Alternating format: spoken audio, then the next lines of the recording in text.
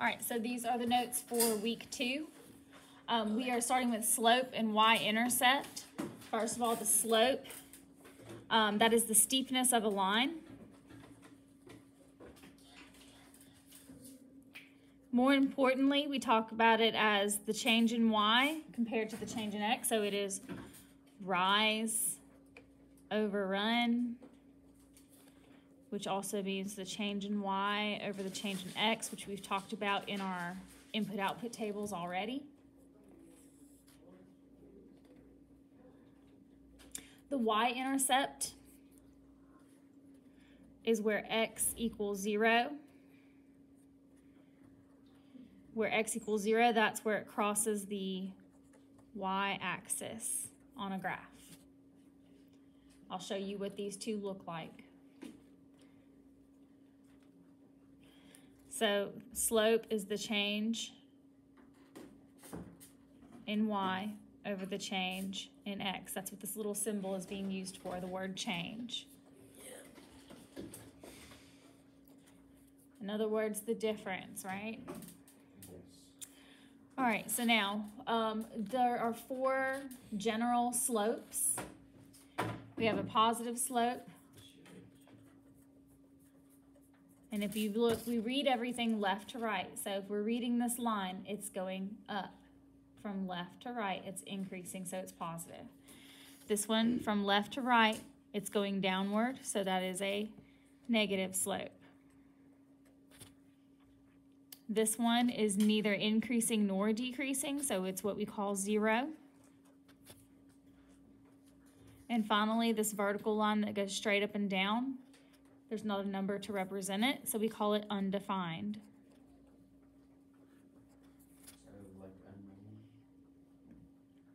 Because if we were trying to count the rise over the run, um, it would be a number divided by zero, and that's undefined. We can't do that.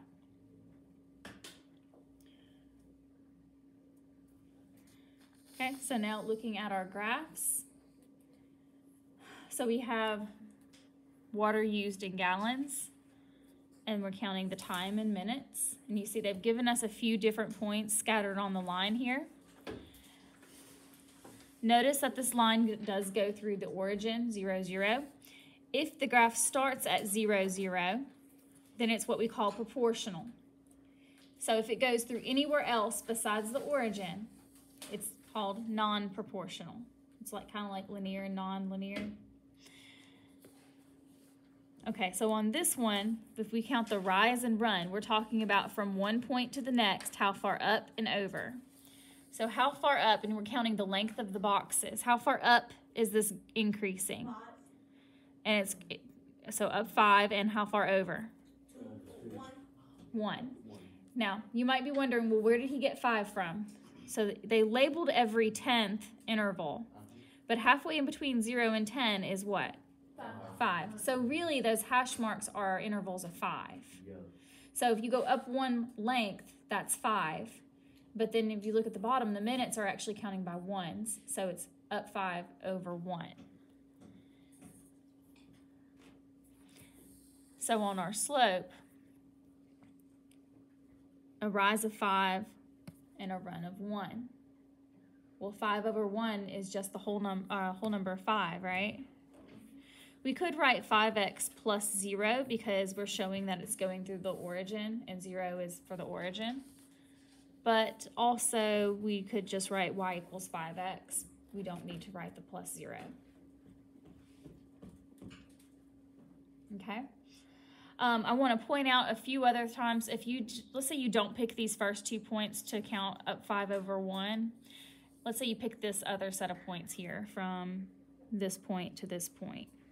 Well, if it goes up one, two, three, four lengths, that's four times five, right? Which is 20. And then it goes over one, two, three, four. Well, that's a rise of 20 and a run of four. But 20 over four is equal to what? Five. Five. So it doesn't matter what points you choose to go from to count rise to run, you're going to get the same number. It's a lot like whenever we talk about constant rate in our tables. If it's linear, you're going to get the same number. All right. looking at this bottom half. To find slope when it's not proportional. Okay, so you need to find two points. Find two points on the graph, and I mean whole number points, just like when we were counting, um, looking at graphs and trying to find the unit rate. Okay, so let's find two points on this graph. I see a whole point here because it crosses at the corners. Gonna follow it. There's a point here. There's a point here I can use.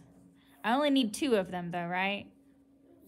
Okay, so now, first of all, looking at this line, is it increasing or decreasing from left to right? It is decreasing, which means it's what type of slope? Negative. It's a negative slope. So now this, it's not showing us any numbers, so we're gonna assume that they're counting by ones. Our rise and run for this one, just show me the stair step to it, how far down and how far over. How far down is this from this point? And how far over is it? Two. And it, it should repeat that pattern the whole way down it, right?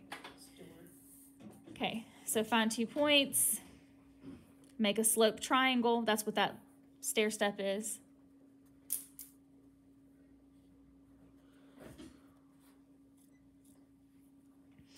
You want to do your rise over run. So your rise over run fraction is 3 over 2. And this one we said was negative. So the slope for this is 3 over 2. Now, if we were putting this in the calculator, it would give us 1.5. But we like to keep our slope in fraction form because it's describing to us what is happening here with these slope triangles.